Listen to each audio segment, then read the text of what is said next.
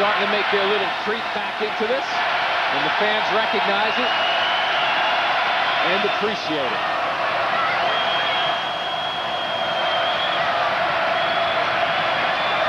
Flynn gets a step on Farmer. Oh, no! Oh, now, wow!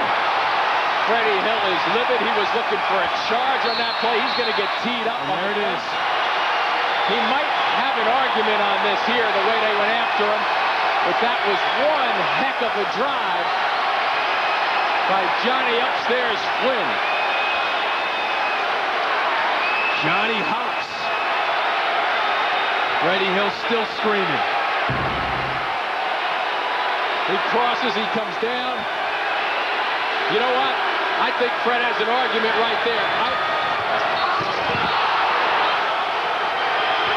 I don't particularly agree with the, the rule in the NCAA in terms of how a defender can stand underneath the basket. I think the NBA has that right with the semicircle.